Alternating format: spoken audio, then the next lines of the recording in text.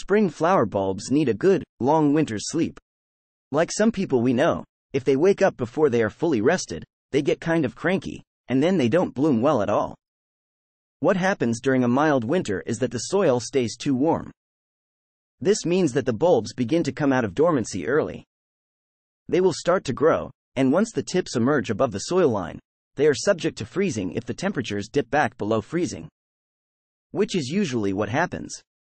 After the bulbs have emerged, they freeze and then don't bloom at all, or if they do, it's a very poor display. Another reason bulbs can bloom too early or freeze in the ground is that the bulbs are not planted deep enough. They may have been deep enough when you planted them, but as the soil goes through the freezing and thawing process, the bulbs can be pushed toward the surface.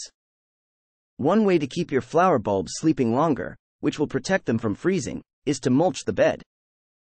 To do this, in the fall, apply a 3-4 inches layer of well-composted mulch on the top of the flower bed.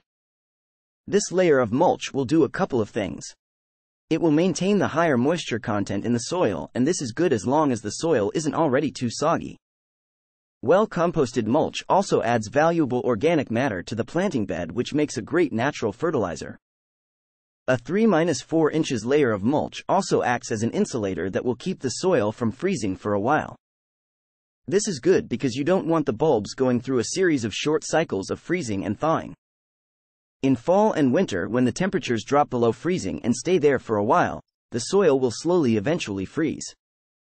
During the spring, the mulch works in reverse and keeps the soil from thawing too early. Keeping it in a frozen state is good because the bulbs remain dormant for a longer time.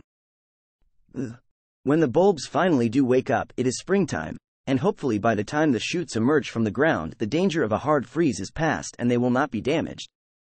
If you can keep the shoots and bulbs from freezing after they start growing, they will flower beautifully. The extra organic matter will help to nourish the bulbs when they are done blooming, and the cycle starts all over again. If you plan your garden carefully, it is possible to have it bloom all summer and into the fall. So look carefully at when each bulb is supposed to bloom when designing your garden. We also plant annual flowers in the same beds as our spring bulbs. By the time the danger of frost is past and it's time to plant the annuals, the top of the bulbs have died back and are ready to be removed. The mulch that is added in the fall also helps to nourish the annual flowers, as well as improve the soil permanently. Anytime you add well composted organic matter to your planting beds, it is going to produce multiple benefits.